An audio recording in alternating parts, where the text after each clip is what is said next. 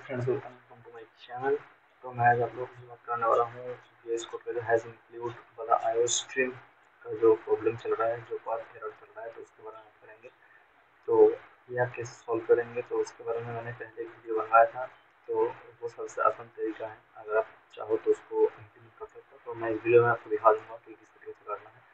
और कुछ जो चीज़ें हैं तो उसके बारे में बात करेंगे, जैसे कि यहाँ पर अगर आप लेके जाओगे तो कुछ हेयर फ़ाइल मिसिंग है तो आप देख सकते हैं कि कौन सी कौन सी फ़ाइल नहीं है। आई स्ट्रीम नहीं है, फिर वो स्ट्रीम नहीं है तो इसके अंदर बहुत सारे फाइल्स है जो नहीं मिल रहे हैं उसको। उसका लोकेशन जो है वो नहीं मिल रहा है, ठीक है? तो उसको कंपाइल नहीं कर पा रहे इंक्लूड नहीं कर पा रहे हैं तो इसलिए ये पास एरर वाला प्रॉब्लम आ रहा है। तो इसको सॉल्व करने के लिए बहुत ही आसान तरीका है।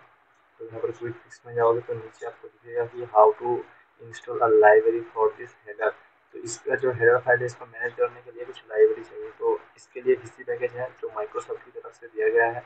एक्चुअल में वो आपका सारा का सारा हेडर फाइल्स वगैरह वगैरह सब कुछ मेंटेन करता है तो आपको बिल्कुल की कोई ज़रूरत नहीं है। तो इसके ऊपर हम इस वीडियो में बात नहीं करेंगे, क्योंकि ये बहुत ही लंबा प्रोसेस है थोड़ा सा। तो ये करने के लिए थोड़ा सा आपको देखना पड़ेगा तो कैसे करना है, मैं इतना बता सकता हूँ। तो गेस्ट स्ट्रगल में जाओगे। और डिटेल्स में अगर आपको देखना है तो कोई बात नहीं आप यूट्यूब में जाओ और सर्च करो। जिससे पैकेज तो माइक्रोसॉफ्ट की तरफ़ से वीडियो भी बनाया गया है। पूरा एक घंटे के आसपास कुछ वीडियो है, आप देख सकते हैं उसको। तो क्या क्या है क्या क्या फीचर्स नहीं है, सब कुछ उसमें इसमें बताया गया है, ठीक है?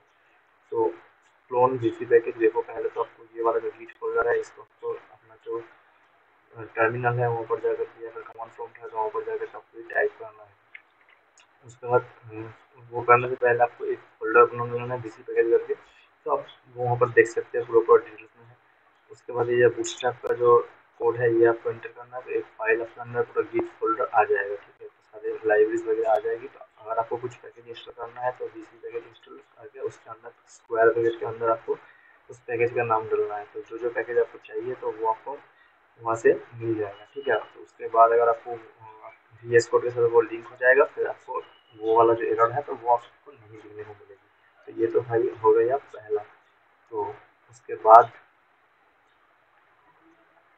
आते हैं हमारा। और एक तरीका होता है जो होता है, जो पाथ को चेंज करना है। तो इंक्लूड वाला पाथ को चेंज करना होता है, या फिर कंपाइलर पाथ को चेंज करना है। तो वो चेंज करने के लिए एक तरीका है कि आप मैनुअल इसको चेंज करो। या फिर आप जो जिस तरीके से मैंने दिखाया था तो ये वाला प्रोसेस क्या होता है? ये रिपीटेशन होता है। क्योंकि ये फोल्डर में लागू होता है फाइल्स के ऊपर नहीं तो उस फोल्डर में जितने सारे फाइल्स है वो सारे में लागू हो जाएगा। अगर आप फोल्डर में एक बार कर लोगे तो फिर उस फोल्डर के लिए आपको टेंशन लेने की ज़रूरत नहीं है। अगर नया फोल्डर क्रिएट करेंगे तो उसमें आपको बस करना है कुछ नहीं, ज़्यादा टाइम ही नहीं लगेगा, एक दो सेकेंड में काम। तो ऐसे ओपन करना, यहाँ पर जाकर इसके जी कर देना। जैसे रजिस्ट्री कर दोगे तो पहले ही ये वाले जो नीचे आओगे तो जैसे एरर चला गया, लेकिन ये वाला जो है, इसको डिफ़ॉल्ट कर देना बस कुछ नहीं। जैसे दोगे तो चला गया सारा। अब हम इसको पिन करके भी मैं दिखा सकता हूँ। कोई एरर नहीं आएगा। रन कर देता हूँ। विंडो रन कर गया हेलो वर्ल्ड और प्रॉब्लम सेक्शन में जाओ।